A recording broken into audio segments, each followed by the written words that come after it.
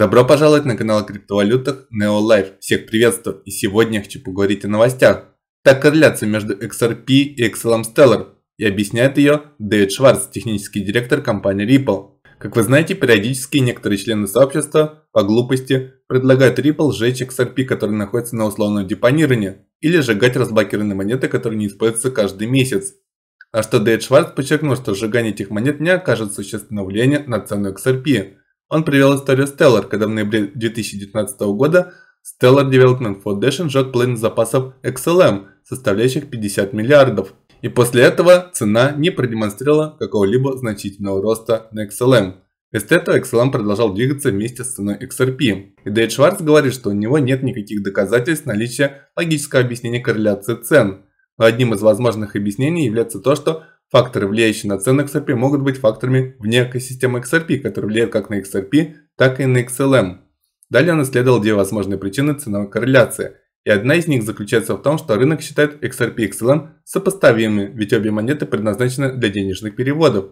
Однако, поскольку XRP больше, чем XLM, его ценовое движение имеет тенденцию тянуть цену XLM. Вторая же причина заключается в том, что есть кто-то или группа людей, которые манипулируют ценой XRP или ценой XLM Stellar, чтобы обеспечить движение обоих активов рядом друг с другом. Также еще одна новость. Напомню, что на платформе Magnetic проходит серия квестов с призами в XRP и Magnetic NFT. Сейчас идет второй квест, и условия получения XRP здесь очень просты. В первом задании нужно купить 2 десятые токена MAX в сети XRP Ledger. И за это будет начислен airdrop 16,6 XRP каждому участнику, кто выполнил задание. Прогресс в данном задании уже 182 из 300, то есть осталось всего 118 призовых мест. Во втором задании нужно купить 0.15 токена MAX в сети Xahao, за это будет начислен airdrop 16 XRP каждому участнику, кто выполнил это задание. И прогресс в данном задании уже 52 из 75, то есть тут осталось всего 23 призовых места. На выполнение второго квеста нам отводится всего 6 дней. Далее нас ждет третий квест еще с более крутыми призами. А для участия в квестах не забудьте установить линии доверия на токен MAG как в сети Xahau, так и в сети XRP Ledger. Также я напомню вам, что при выполнении всех заданий комьюнити получит гранд-приз – это увеличение награды за майнинг на 25% на платформе Magnetic. Плюс сложность майнинга будет снижена на 25%. И это отличная новость для нас, кто зарабатывает на платформе майнингом пулов. Ссылка на Magnetic будет в описании к видео. Переходите, изучайте и участвуйте в airdropе от Magnetic. Также еще одна новость. Эдвард Фарина делает очень интересное исследование о длинной очереди банкиров, основавших компанию Ripple. Так он пишет, что история началась задолго до биткоина. На самом деле, Райан Фугер основал Ripple Pay в 2004 году, которому принадлежит торговая марка Ripple Communications, основанная в 1991 году, и Райан Фугер был ее участником. Райан Фугер происходит из рода банкиров, а семья Фугеров контролировала большую часть европейской экономики в 16 веке и накопила огромное богатство.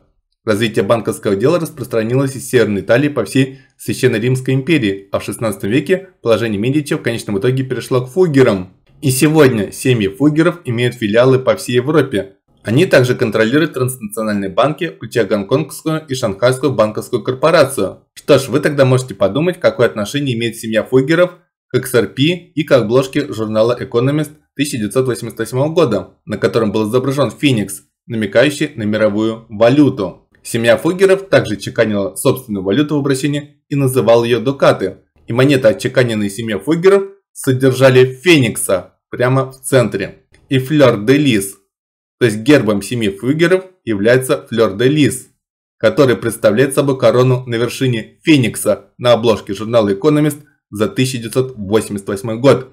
Ничего более ясного нет. Райан Фугер разделяет своей древней банковской семьи на блокчейн. И XRP стоит в авангарде всего этого. Также еще он пишет, что мои прогнозы на следующие 5 лет Криптовалюта XDC свергает эфириум. Мировые резервные валюты, это XRP и XLM Stellar, являются частью корзины валют, принадлежащей центральным правительствам. Также появляется новая стабильная монета, обеспеченная золотом. И возможно будет раскрыты личности, которые стоят за Сатоши Накамото. Также еще интересную находку делает охранник. В мультфильме про элементали, где главные действующие лица это Эмбер Люмен и Вайт Риппл, есть еще один интересный персонаж с именем Флари что очень созвучно криптовалюте Flare. И там сказано, что он один из соседей Люмина, который берет на себя управление их круглосуточным магазином «Камин» после ухода Берни. Интересно, что в данном мультфильме нам говорят как минимум уже о трех криптовалютах. Это XRP, Stellar XLM и Flare. Примечательно, что в последнее время Flare хорошо начинает показывать рост после, видимо, нахождения своего дна. От себя хочу сказать, что через фильмы, мультфильмы нам говорят о том, какие криптовалюты будут иметь реальное применение и которые не просто выживут, но и будут доминировать. Также еще, Колин Браун пишет, что предупреждение о важном событии. Битчейн только что получил революционный патент США, поднимающий эффективность блокчейна на новую высоту. Не моргайте, иначе вы пропустите будущее криптоинноваций, пишет он. И в заключении видео вдохновляющий график XRP показывает криптобилбоа. И он пишет, скоро придет время, будет стандарт XRP. Не поддавайтесь никаким фуд, идите своим путем. В конце нас ждет свет и процветание. Спасибо за внимание, я надеюсь вам нравятся мои видео, подписывайтесь на канал, а также на мой телеграм канал. Оставляйте свои комментарии, ставьте лайки, всем до новых встреч и пока-пока.